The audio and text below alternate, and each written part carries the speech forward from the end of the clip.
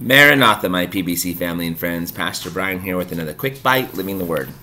Today, our word's going to come from Ephesians chapter 3, and uh, it's just something I want us to really notice here that Paul has to say to us in his writing here uh, about our strength, in essence. And so, Ephesians chapter 3, and I want to pick up at verse 14. I was going to read there, but I'm going to read all the way down through um, well, I'm going to read all the way down to, I guess, verse 18, but I'm really going to focus back in the middle part of that. So, anyway, it says, For this cause I bow my knees unto fa- the Father of our Lord Jesus Christ, of whom the whole family of heaven is named, uh, heaven and earth is named, that he would grant you, according to his to the riches of his glory, to be strengthened with might by his Spirit in the inner man, that Christ may dwell in your hearts by faith that ye being rooted and grounded in love may be able to comprehend with all the saints what is the breadth the, and the length and the depth and the height, and to know the love of Christ which passeth knowledge, that ye might be filled with all the fullness of God.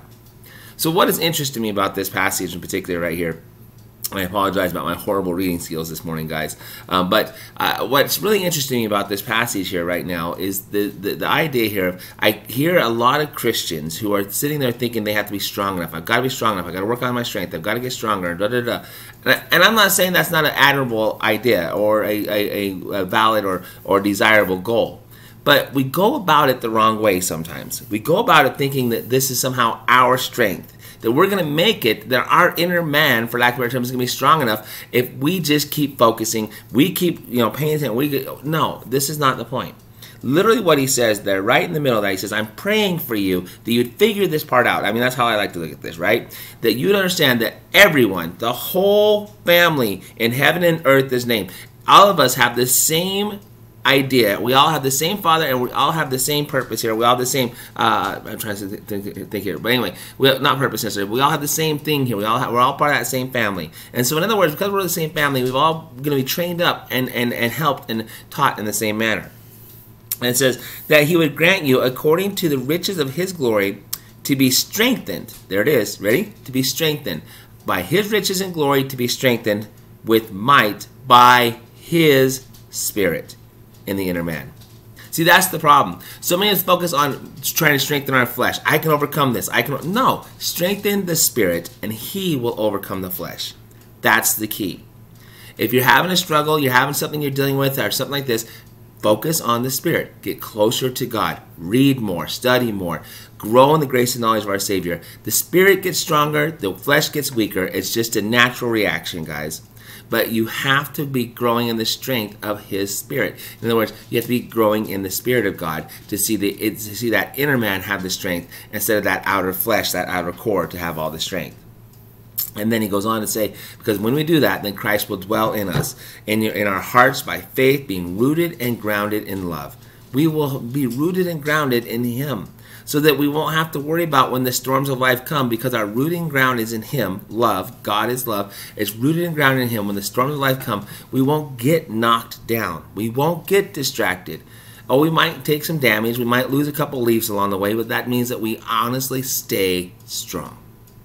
I thought about this a lot because I've watched a couple of different windstorms here recently and stuff, and and uh, we've had different uh, uh, of our sunflowers on the back deck there that have gotten knocked down. They haven't necessarily grown out, out or anything like this, but they've gotten blown over in the wind. But there's some that are just standing strong because they're rooted and grounded. They got a ton of root ball and strength to them.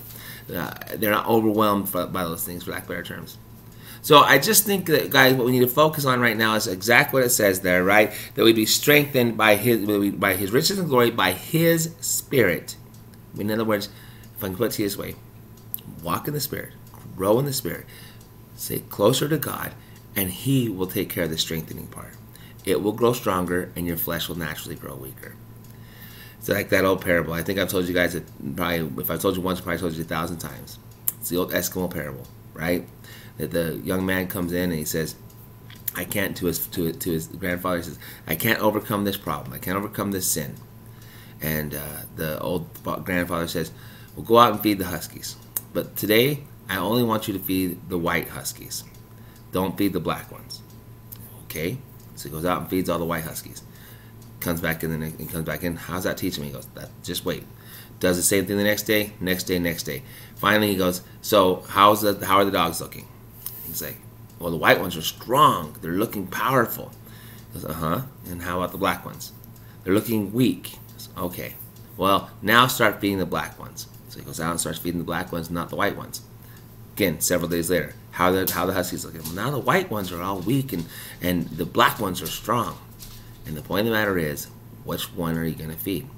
The dog, the, the, the, the huskies that get fed are the ones that get stronger. Are you feeding your spirit or are you feeding your flesh? So remember, we're strengthened by we're strength. Our strength comes by feeding the spirit. It doesn't come by feeding the flesh. I hope this encourages you today. I know it encourages me. I love you. We love you. God loves you, and God's got this.